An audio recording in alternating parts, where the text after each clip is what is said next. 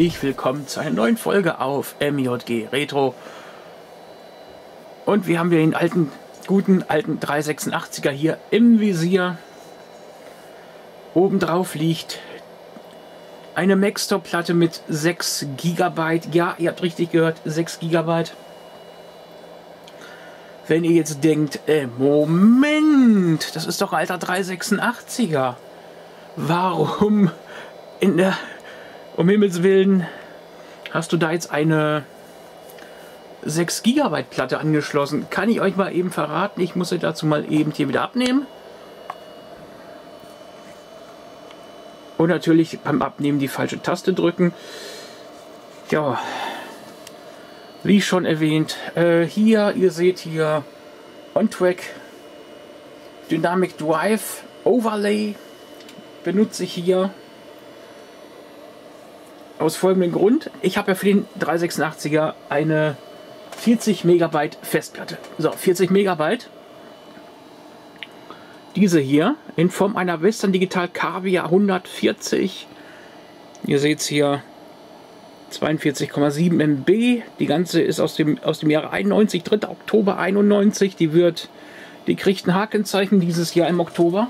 Und die wird 30. So, und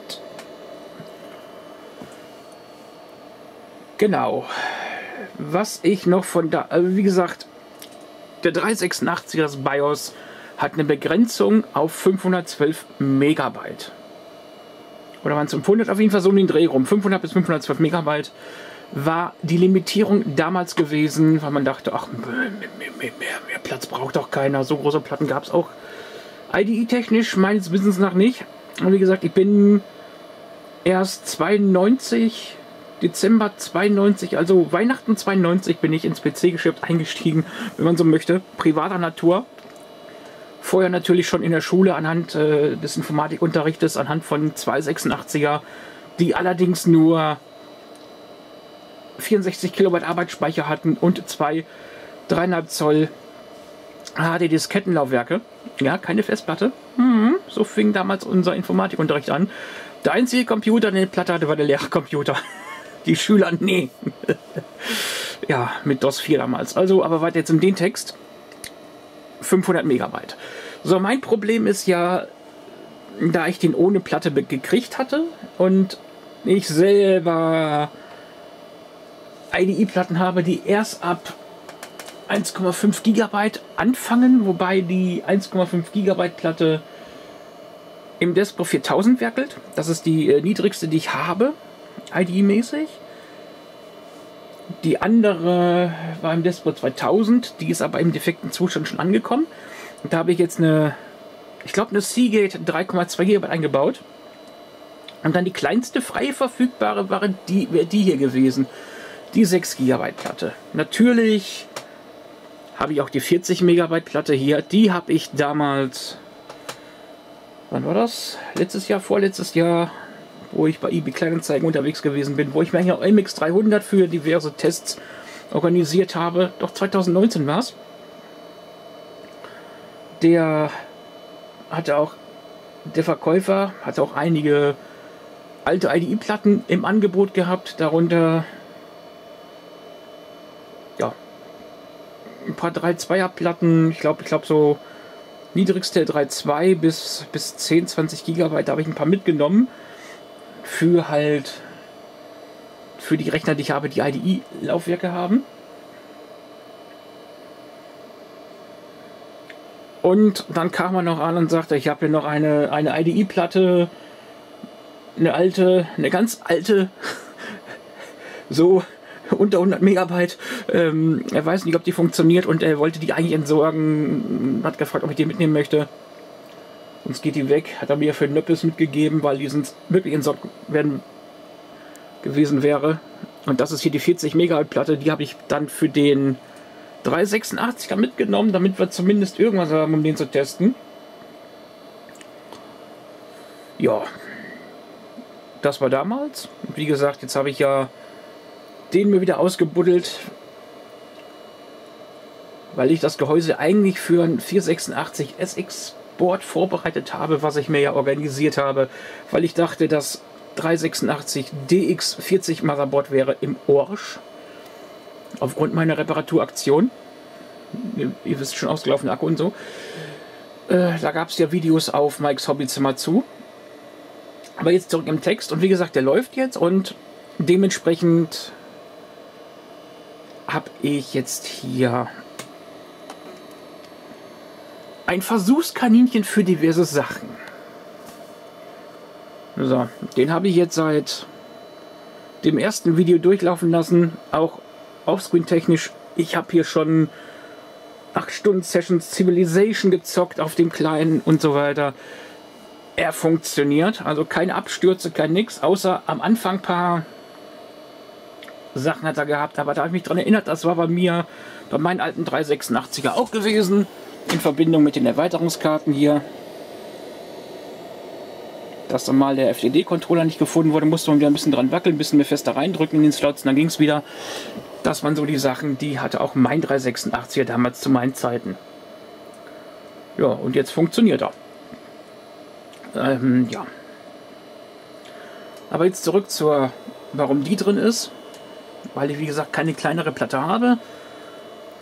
Doch die 40er, aber die ist zu klein wieder für einige Sachen.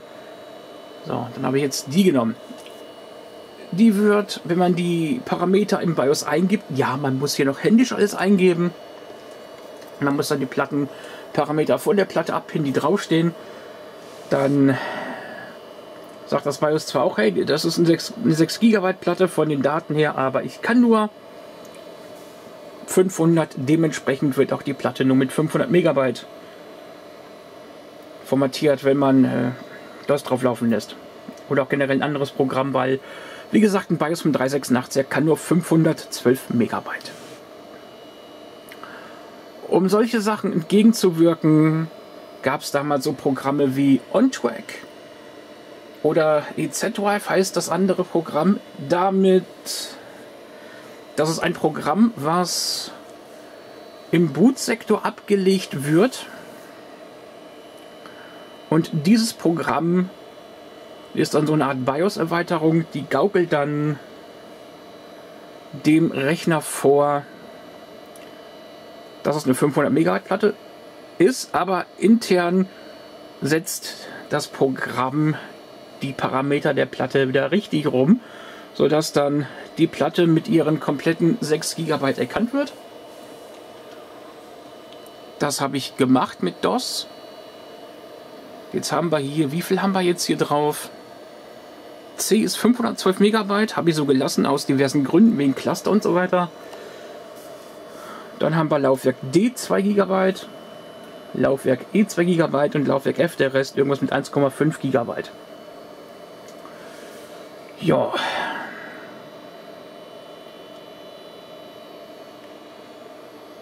Das ist die Geschichte mit Overlay.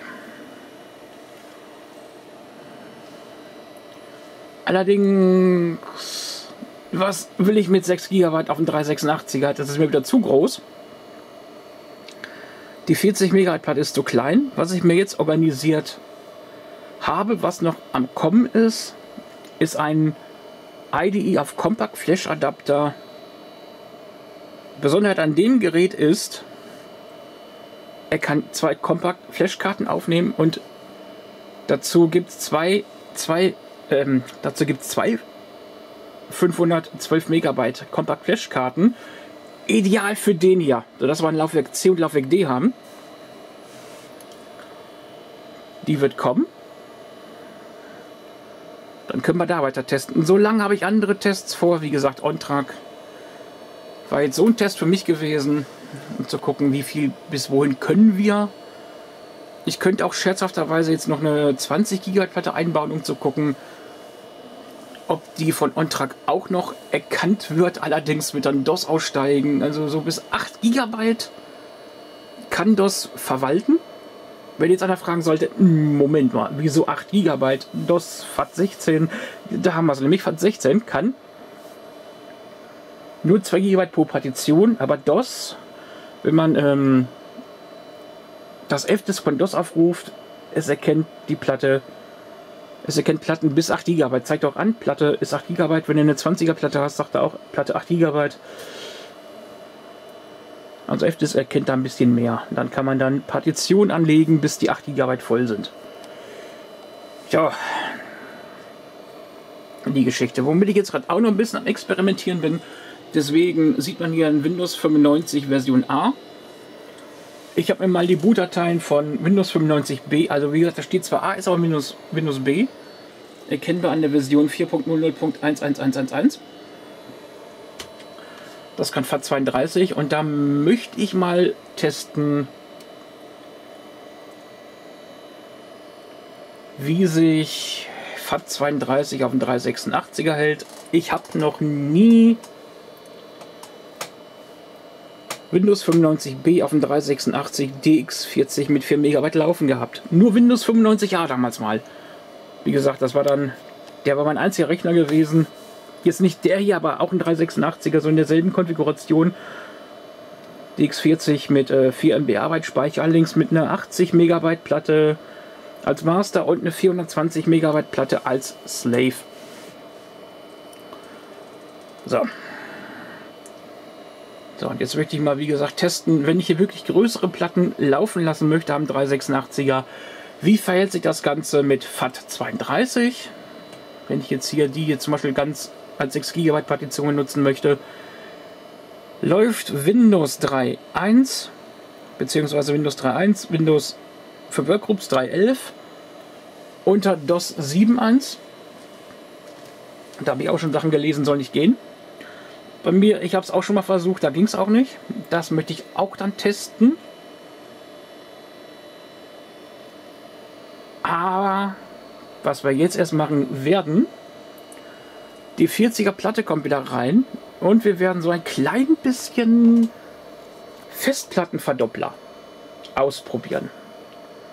Ja, ihr merkt schon, das wird wieder ein langes Video, wo der Mike wieder viel, viel erzählen wird. Erst das Theoretische, dann kommt gleich das Praktische. Wie gesagt, Festplattenverdoppler. Wie der Name schon sagt, sollen sie theoretisch die Größe der Festplatte verdoppeln, sodass wir anstatt eine 40er eine 80 Megabyte Platte haben. Ja. Was ist ein Festplattenverdoppler? Ähm, ihr wisst ja damals, wann war Festplattenplatz knapp.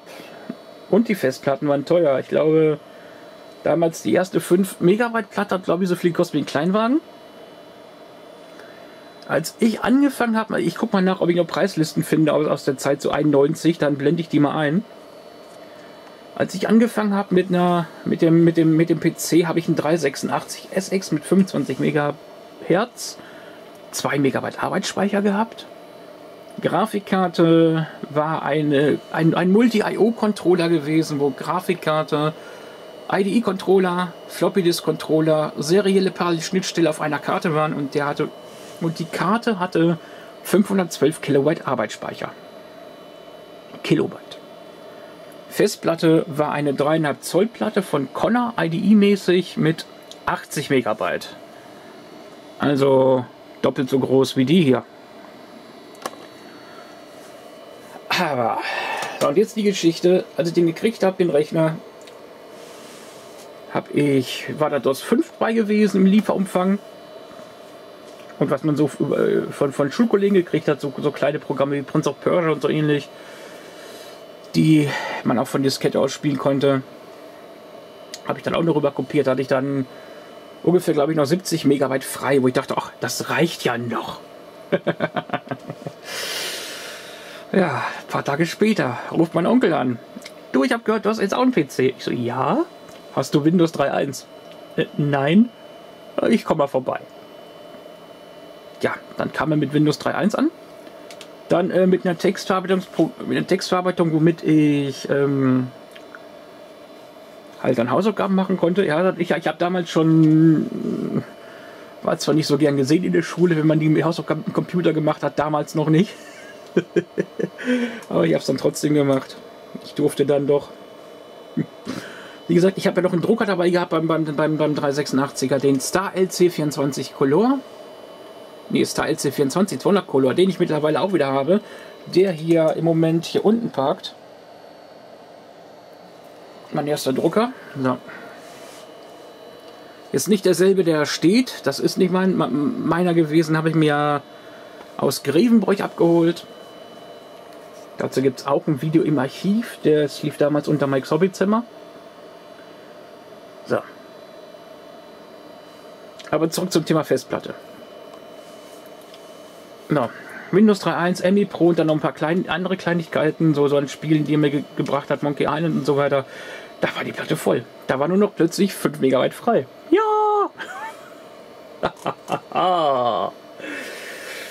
Ah. Und wie gesagt, ich war Schüler gewesen damals. Die Eltern haben das Ganze finanziert. Und dann eine größere Platte, ich weiß nicht, die, wie, wie teuer war die gewesen? Auf jeden Fall teuer. So, dann gab es halt so Programme, ganz normal Packprogramme, AIJ, PKZIP und so weiter, LHA, was man kennt. RAR gab es damals noch nicht. Das ist, glaube ich, dann erst 94, 95 auf den Markt gekommen. So und so ähnlich wie jetzt diese ähm, Packprogramme arbeitet so ein Festplattenverdoppler. Da gab es dann Drittanbieterprogramme, wie zum Beispiel Stacker. Das konnte man sich dann installieren. Und dann, äh, ja, die Festplatte vergrößern. Aber wie gesagt, war ein Komprimierungsprogramm, was dann nannte sich dann Online-Komprimierung. Im Gegensatz zum, zu den AIJ, also jetzt zu den Packprogrammen wie AIJ, PKZip und so, die man Offline-Komprimierung nannte, ist das Ganze on the fly passiert. Wie war es da gewesen? Alle Daten, die du bei dir auf dem Laufwerk hattest, dann wurde eine, das war dann das Host-Laufwerk, dann wurde das, die eigentliche Datei angelegt, wo dann alle deine Daten rein verschoben worden sind. Das wurde dann zum neuen Laufwerk C. Das Host-Laufwerk wurde dann zu irgendeinem anderen Laufwerksbuchstaben, den man sich dann auswählen konnte. Und so ungefähr, ja, das waren dann die, die Festplattenverdoppler. Stacker zum Beispiel war, das, war der beste auf dem Markt. Dann, ich werde auch mal gucken, dass ich so mal so ein kleines Diagramm vielleicht mache und dann so mal ein bisschen zeige, wie, was eigentlich hinter Stacker oder Double Space und Dry Space, so wie das Ganze dann so theoretisch funktioniert. Praktisch machen wir auf jeden Fall auch. So, und dann natürlich, ihr kennt ja Microsoft, die haben dann, die haben dann auch einen, einen, einen Festplattenverdoppler DOS 6 eingebaut, nennt sich Double Space. Und den musste dann die DOS, warte mal, wo? Ähm, 6, glaube ich noch. Doch, doch. Muss ich mal gucken, ich weiß es nicht. Auf jeden Fall im DOS 6.2. DOS, warte mal eben. Zurück, ich muss mal eben. Ich mache alles aus dem Kopf. DOS 6. War da schon Double Space drin? Weiß ich nicht. Also in DOS 6.2 war Double Space drin.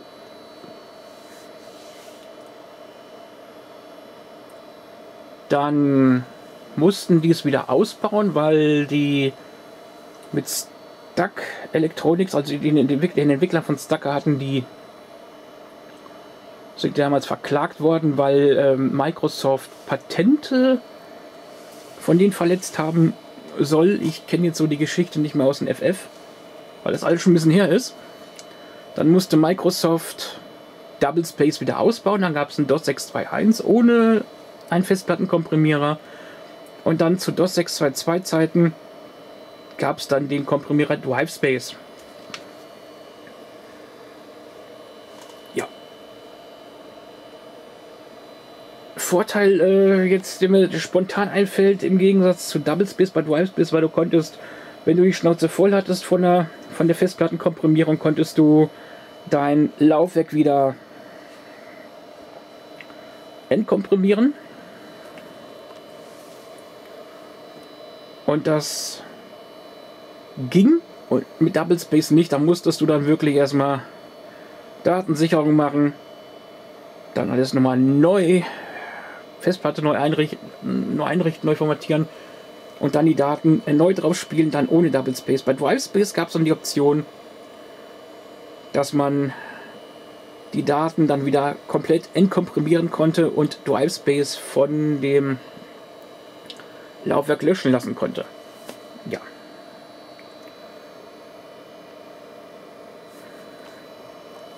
So, jetzt sind 20 Minuten rum. Ich würde sagen, wir machen einen Kleinschnitt und wir werden dann im nächsten Video anfangen, die 40er Platte zu komprimieren.